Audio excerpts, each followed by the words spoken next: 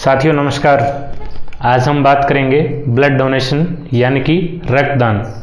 सबसे पहले, किस दिन रक्तदान दिवस मनाया जाता है? यह दिन 14 जून को मनाया जाता है, क्योंकि इस दिन कार्लैंड स्टिनर नाम के एक वैज्ञानिक का जन्म हुआ था, जिसने आगे जाकर ब्लड ग्रुपिंग की खोज की थी। अब हम बात करते हैं ब्लड क्या है? ब्लड हमारे शरीर का एक ज़रूरी हिस्सा है, जो कनेक्टिव टिश्यू से बनता है। जो टोटल बॉडी वेट का लगभग 8 प्रतिशत हिस्सा होता है, और अब इसके अंदर दो बड़े भाग होते हैं। पहला होता है प्लाज्मा जो 55 परसेंट तक होता है। दूसरा होता है सेल्स ब्लड सेल्स जो लगभग 45 प्रतिशत होती है, जिसमें आरबीसी डब्ल्यूबीसी और प्लेटलेट शामिल होती है। प्लाज्मा जो भाग है, उसमें 90 परसेंट तक पानी होता है। बाकी 7 से 8 परसेंट जो प्लाज्मा प्रोटीन है, और अदर सब्सटेंस होते हैं।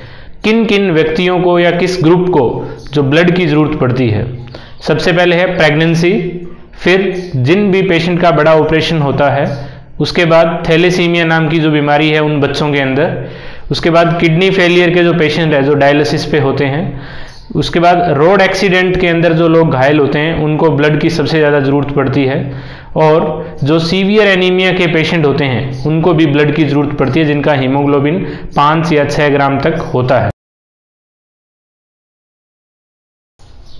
डब्ल्यूएचओ ने अपनी एक रिपोर्ट में कहा था कि किसी भी देश के पास उसकी जो कुल आबादी है, उसका एक प्रतिशत जो हिस्सा है, उसके बराबर ब्लड यूनिट हमेशा स्टोर होने चाहिए किसी भी मानवीय या प्राकृतिक आपदा से लड़ने के लिए।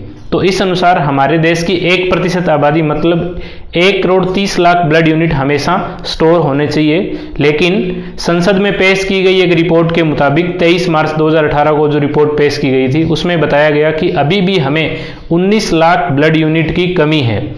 तो ये चिंता का विषय है कि इतनी बड़ी आबादी का देश फिर भी हमें जो एक प्रतिशत हिस्सा है ब्लड यूनिट के अंदर, वो हम स्टोर नहीं कर पाते तो उसकी वजह क्या है? दो तीन बड़ी वजह सामने आती है। सबसे पहला, या तो बहुत बड़े ग्रुप के अंदर या नंबर ऑफ़ पीपल के अंदर खून की कमी है जो ब्लड दे नहीं सकते। दूसरा, किसी भी प्रकार की भ्रांति जो उन्हें ब्लड देने के लिए रोकती है। तीसरा है, सब कुछ नॉर्मल होते हुए भी ब्लड देना ज़रूरी नहीं समझते लोग। आपने अक्सर देखा होगा कि आपके पास कोई फ़ोन कॉल या मैसेज आता है कि किसी भी हॉस्पिटल के अंदर इस ग्रुप का, किसी खास ग्रुप का ब्लड उन्हें तुरंत चाहिए। आपके एक यूनिट ब्लड की वजह से एक व्यक्ति की जान बच सकती है। ब्लड डोनेशन के क्या फ़ायदे होते हैं? नंबर वन हमारे शरीर के अंदर हमारी जो आरबीसी सेल है, उसका लाइफ स्पान 120 दिन होता है। 120 दिन के बाद वो ख़त्म होकर नई सेल बनती है। तो अगर हम वो ब्लड किसी को ज़रूरतमंद व्यक्ति को देंगे तो उसकी जान बच सकती है। दूसरा इससे हमारे शरीर के अंदर कुछ ज़रूरी जांचें हैं, वो अपने आप हो जाती है। जैसे हीमोग्लोबिन है बीपी है, वज़न है, और भी पाँच प्रकार की जाँच, जैसे hepatitis B hepatitis C HIV है वीडीआरएल जो है सिफिलिस के लिए, और मलेरिया की जाँच होती है। जब हम ब्लड देते हैं, उसके बाद में ब्लड बैंक इन जाँच को करता है।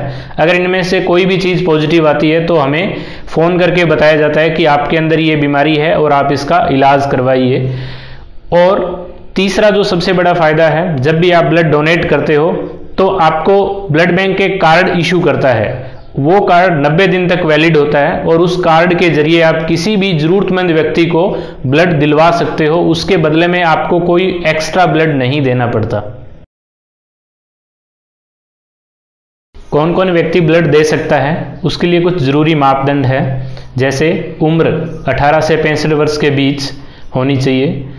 वज़न 50 किलो से ज़्यादा होना चाहिए। हीमोग्लोबिन 12.5 ग्राम से ज़्यादा होना चाहिए। चौथा, पिछला ब्लड दिए हुए उनको 90 दिन से ज़्यादा का समय हो गया हो।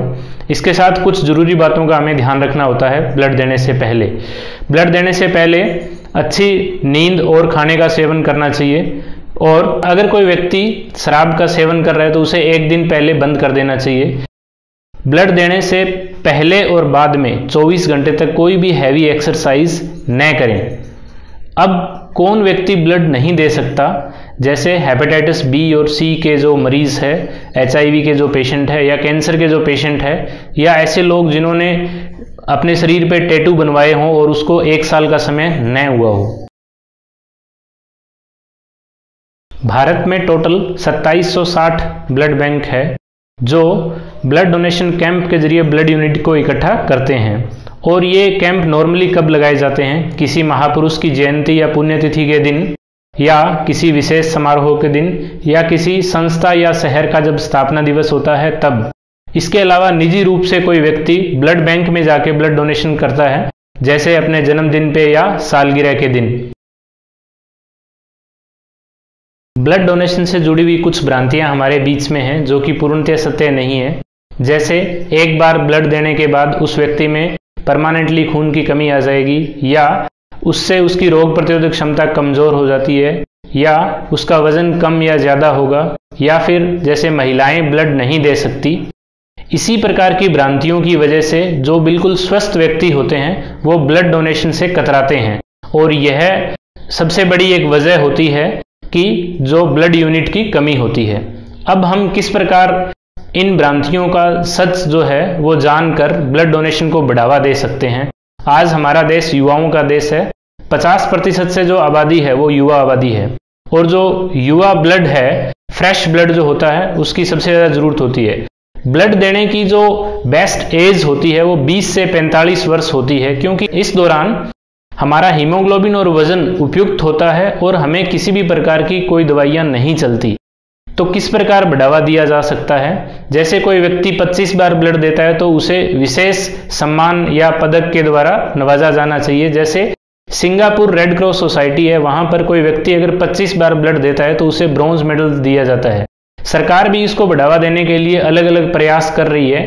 जैसे अगर कोई व्यक्ति ब्लड बैंक नहीं जा सकता ब्लड डोनेशन के लिए तो वहाँ पे मोबाइल वैन की फैसिलिटी दी जाती है ताकि वहाँ पे जाके उसका ब्लड लिया जा सकता है। आपको हमारी ये जानकारी अच्छी लगी तो इस वीडियो को लाइक करें, ज़्यादा से ज़्यादा शेयर करें और हमारे चैनल को सब्सक्राइब करें और नियमित रूप से रक्तदान करें।